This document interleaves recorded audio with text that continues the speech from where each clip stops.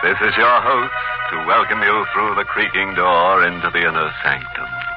Shh. You'll have to be very quiet tonight because one of our guests is asleep in the deep. Poor chap. He was a sailor by trade, an old salt named Peter. I had a corpse in every port. But I'm afraid he went overboard.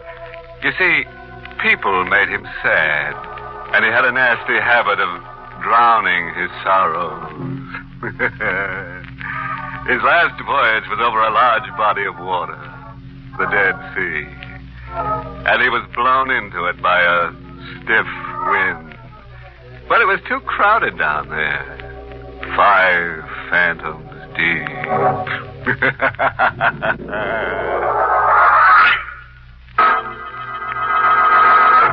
Tonight's Inner Sanctum Mystery, Cause of Death, was written by Bob Sloan and Ed Adamson and stars Barry Kroeger in the role of Ken with Santos Ortega as Al. Well, gather round, my friends, and you shall hear a midnight tale of death and fear. It's full of ghosts and rich in gore, and if you listen, you'll sleep no more. Now sit back in your uneasy chairs as Ken Griswold tells us his weird story. Death held no terror for a man like me. I'd seen the dead too often, lived among them, worked among them. And to touch the still, cold flesh of a corpse was a routine experience. For ten years, I'd been the coroner of Redmond County. I'd seen death in all its cruel, twisted forms. Yet, there had never been one like this. It all began up at the lake. Even a coroner has nerves, and mine had begun to get the best of me. So Inspector Al Hendricks gave me a week off, and I went up to Grandview Lodge alone. On the third day of my vacation, I was sitting on the lakefront dock when I heard my name called. Ken! I turned and saw Al Hendricks coming quickly down the hill. Ken, I'm afraid you'll have to interrupt your vacation. What? You've got to come back to town. Come back to town? When? Right away. I'm driving you in. Oh, now, wait, Al. I haven't had a vacation in almost three I years. know, I know. I wouldn't ask you to come if it wasn't important. This is a very special case. Why? What's so special about this case? Uh, a woman was found dead in her house at 11 this morning. There doesn't seem to be any visible reason for her death. Well, it's got to be a reason. So far, we can't find one. There's always a reason. You'll find one. You'll have to find it for us, Ken. Me? Why must it be me? When you get there, you'll understand why. What do you mean, why? Because it's Ellen. What? Yes, Ken. The woman who died is your wife.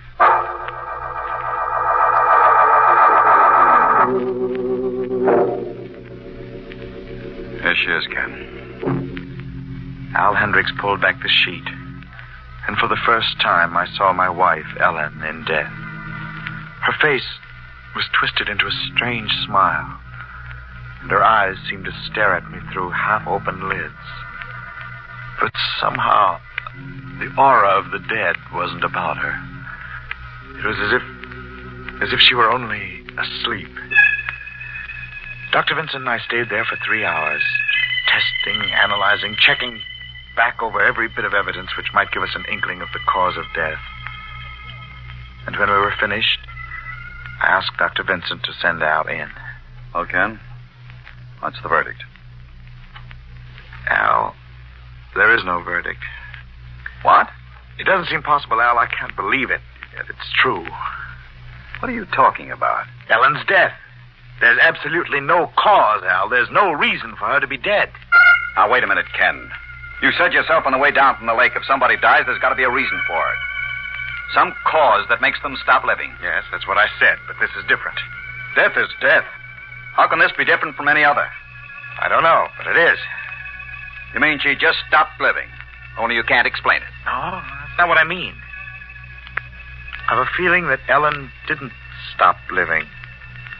That she didn't stop living at all.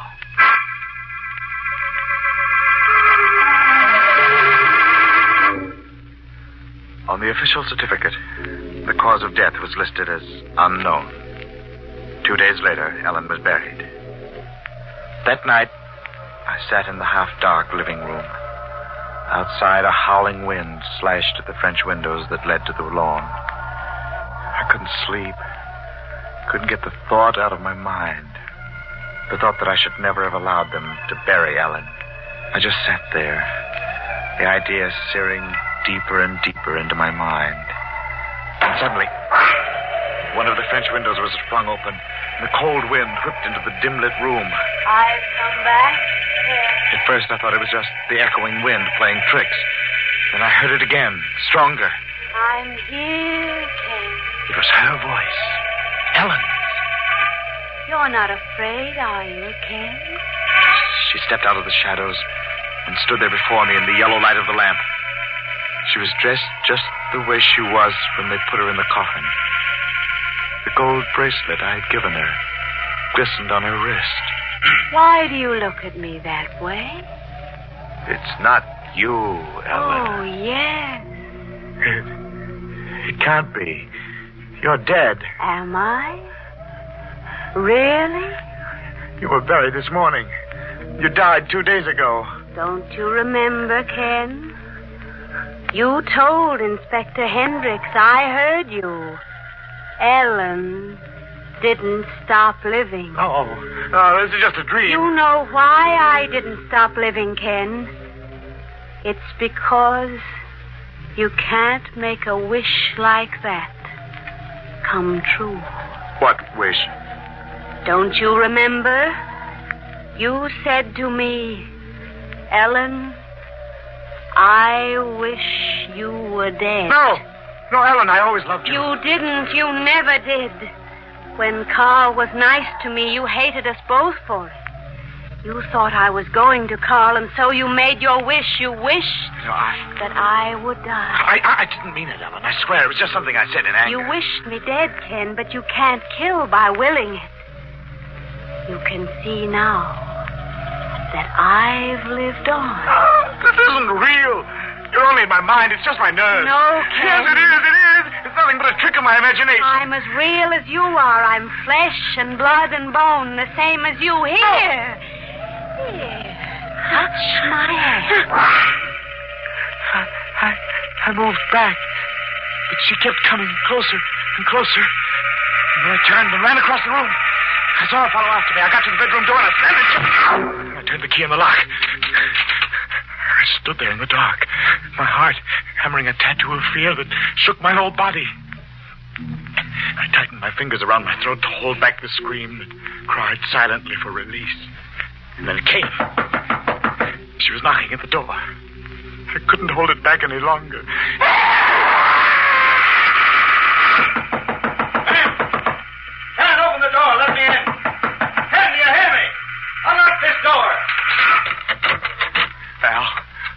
Heavens you got here. I got the call from your neighbors down the road. I heard you scream. What the deuce has been going on here? She came back, Al. Huh? Ellen, I told you she wasn't dead. Oh, now No, look. I'm not crazy. You've got to believe me. She was here. She tried to get into this room, and that, that's why I locked myself Now you listen to me. The last couple of days have been rough on you. no, no, wait a minute. I know what I'm talking about. Ellen's come back. I said you listen. Your wife was buried this morning. I was at the funeral with you. She was buried and it's all over. Had a nightmare. But, Al, Just a nightmare. Things like that happen to all of us. She wasn't here. She couldn't have been. It wasn't a dream, Al. She was here, What are you talking about? on the floor, there. That bracelet. That bracelet was on Ellen when she was buried this morning.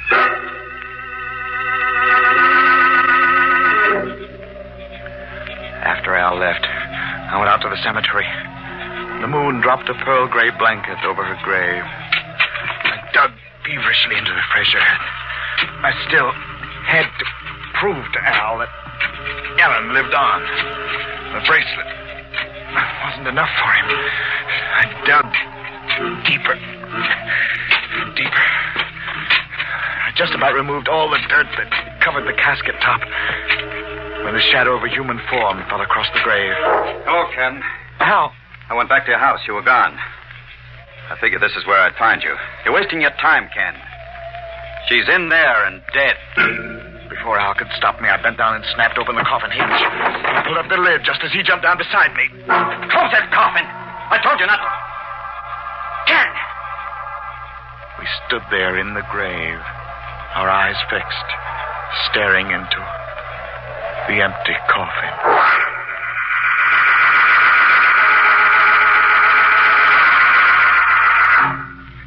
You've got to listen to me. Now, Ken, do what I told you, will you? Go into your room and get some sleep. We'll talk about it in the morning. No, Al, you've got to listen to me now. I can explain everything. I know what happened to Ellen. I know why she wasn't in her car. Someone's playing a trick on us. The dead don't rise from their graves. But she wasn't dead.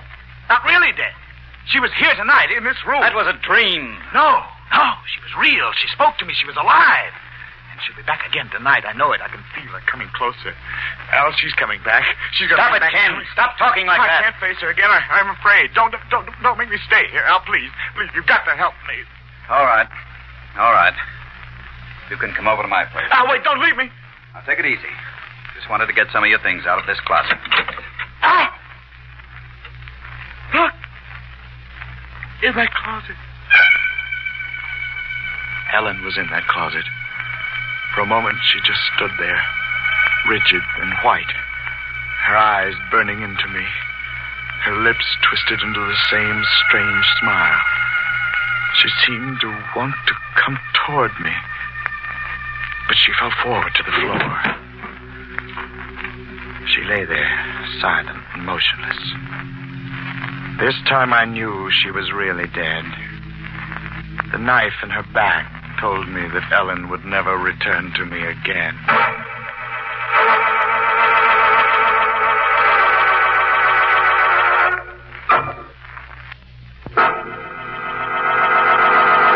You know, I feel kind of sorry for our coroner friend, Ken Griswold. He never should have picked out that sort of job for himself. Working in a morgue is enough to make anybody slab happy. That place can really get you down. About six feet down. It's like they say, death is always just around the coroner. oh, yes, about Ken's wife, Ellen. Let that be a lesson to you the next time you make a wish over a vulture bone. That's the way some women are. Stubborn. You can't get rid of. them, Dead or alive. well, now let's get back to Ken Griswold as he continues his tale of terror. After we found Ellen's body in that closet, I knew I had to get away from that house forever. I wanted to run out into the night, but I couldn't move. Some force held me stationary in its grip. The room began to swim crazily. I saw Al Hendricks come towards me, but a black curtain fell between us, and I was lost in its deep folds.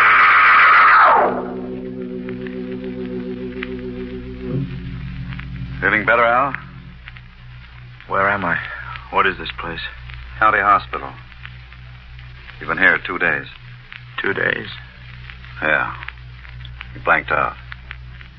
Ellen, she was murdered. Now, you've got to take it easy, Ken. We won't talk about that now. I have to talk about it, don't you see, Al? I was right. Ellen had lived on. No, she was already dead. But that knife in her back. You only die once. What I said before still goes. Somebody's playing tricks. Al wouldn't listen to me. He told me to try and get some sleep.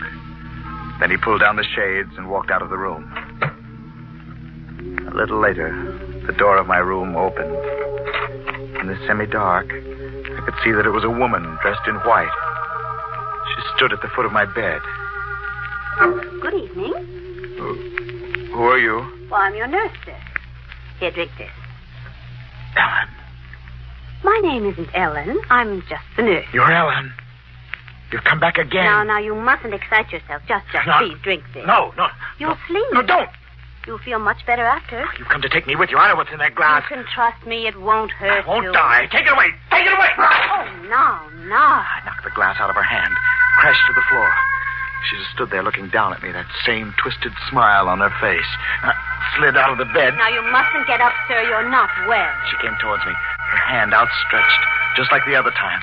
She came closer and closer. Let me help you back. No. I won't hurt you. I got to the door and opened it. I started to run down the corridor when something gripped my arm. Pulled me tight to the spot. Now, let go, please. For heaven's sake, let go of me. Let go of me. Now, take it easy, Ken. Please, Take Al. it easy.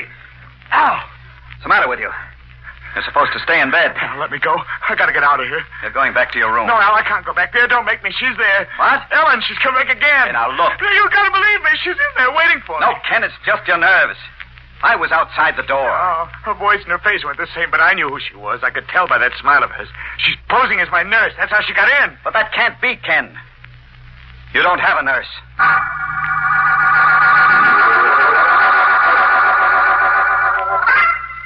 You don't have to worry about her coming back anymore, Ken. Oh, she will. It's all in your mind. I think I can make you see that now. What do you mean?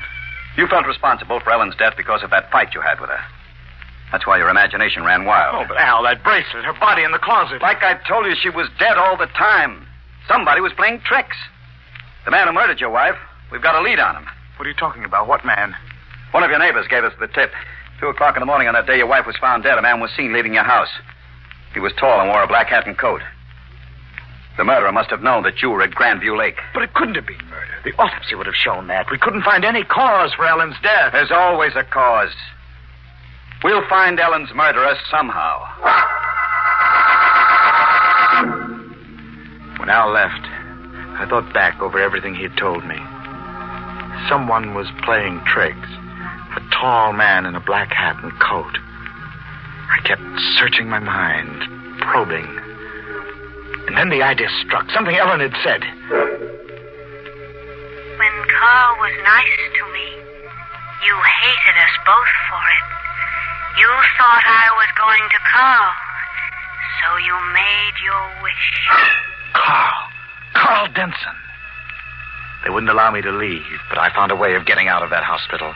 And I went to see Dr. Carl Denson.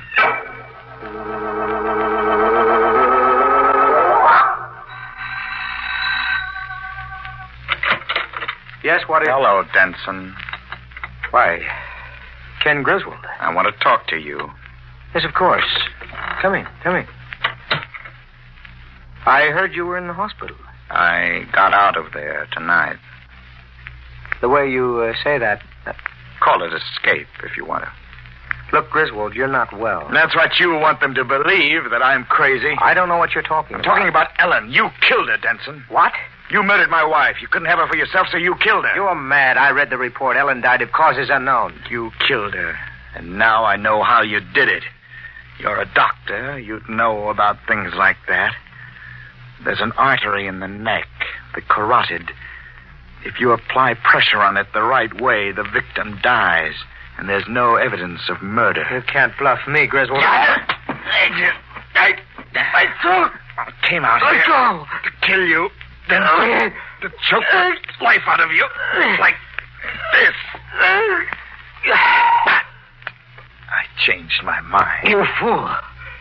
You crazy fool, get out of here. Yes, Denton, I changed my mind. You're going to die in the electric chair. I told you to get out. I'm going to prove that you killed Ellen. You can't because I didn't. A man was seen leaving the house on the morning Ellen was murdered. You were that man, Denson. You knew I was up at Grandview Lake. You waited until I was away. You forgot something, Griswold. It couldn't have been me. I'll prove it. You forget. At the same time you were up at Grandview Lake, I was there too. I went back in my mind, and I remembered that Carl Denson had been at Grandview Lake while I was there. But I knew Denson was the murderer. He was the man in the black hat and coat. He had found some way to come back to town and kill Ellen. But I had to prove it. I started out to retrace his steps on the night of the murder.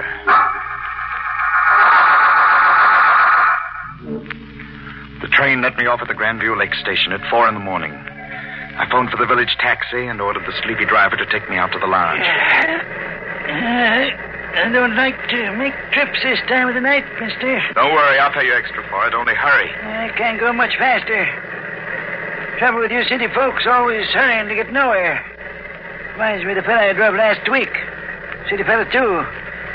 Got off the 401 just like you. Says he's in a hurry. Wait a minute. Yes? You said he got off that same train? Yep, that's what he said. Same train as you. What day was that? Uh, let's see. Was it Tuesday? Tuesday? Yes, yes, it was Tuesday that. Uh, what did he look like? What you want to know from me? Tell me, what did he look like? Well, he was a tall fellow. Didn't talk none tall. Couldn't see much of his face, had his coat collar up. Think about that. Wasn't cold either. Was he wearing a black hat? Come to think of it, guess he was. Yeah. Hat and coat. Where did you drive him to? Same place you're going, mister. Grandview Lake Lodge. That proved it. I was right. Denson had gone to town to kill Ellen. Then, when he finished, he returned on the early morning train. I had him now. There was just one more step left. When I walked into the lodge, George, the night clerk, was behind the desk. Good morning, Dr. Griswold. Hello, Griswold. George. Uh, we weren't expecting you, but we have a room. I'm not staying. Oh? George, I need your help. Yes, of course. What is it? It's important. You must remember something. Uh, remember? About Dr. Denson. You know him? Yes, certainly. Well, this happened just one week ago, last Tuesday morning at the same time. You were on duty then? Uh, yes. And you would have seen anyone walk through the lobby here? Yes, I would. Dr. Denson returned to the lodge last Tuesday morning. He was wearing a black hat and coat. He came in here at this same time. You saw him. No. But you must have. I didn't. He came in here. I have proof. The cab driver who brought him here from the station saw him enter the lobby. I didn't see Dr. Denson that morning. You're lying. You did. No, sir. The only person who came in early last Tuesday was you. What? You came in, Dr. Griswold. You wore a black hat and coat, and you asked me for a key to your room. Me? That's right, Ken. It was you all the time. How? Now be good, Ken. Don't make me use this gun. How did you hear what he said? Yeah? That means I killed her. I was waiting for you, Ken. I knew you'd come. I'll let you find out for yourself. I, I don't remember. You're a doctor. You know about those things, split personalities and stuff like that. You just can't see it in yourself, I guess. But her body in the closet. That was you, too. I followed you out to the cemetery. You thought she was still alive. That's why you put the knife in her back. I'm no expert on those things, Ken, but that's the way it looks to me. Okay. Let's go. I couldn't go back with him, not that way. I ran across the lobby. Stop, Ken! Stop it, I'll just shoot! I got to the door, and then. Oh. The bullet burned in my chest. Al turned me over on my back. I'm sorry, Ken. It's all right, Al. This is just the way I wanted it. Al's gone for a doctor. I haven't got much longer. No. I won't be here when Al comes back. I won't give them any trouble with this one. The cause of death. This one's easy to determine.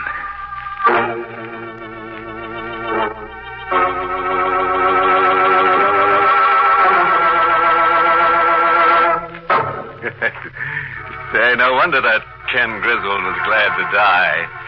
Some wives are bad enough alive, but imagine being henpecked by a corpse. That's the trouble with folks you meet around here. They're dead, but they just don't know enough to lie down. oh, by the way, there's a good moral in tonight's nerve shattering narrative. If you're thinking of doing away with your spouse, forget it. Brother, you haven't got a ghost of a chance.